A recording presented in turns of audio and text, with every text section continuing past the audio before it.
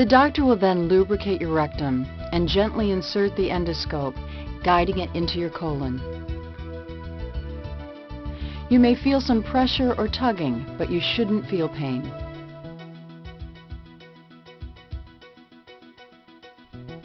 To better examine abnormal-looking tissues, your doctor may choose to take one or more biopsies. Small instruments sent through the interior of the endoscope are able to painlessly remove small samples of tissue with a small scissor-like tool by simply snipping them free.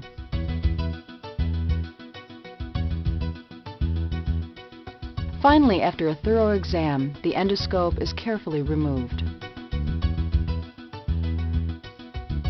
Any tissue specimens removed during the procedure will be sent immediately to a lab for microscopic analysis.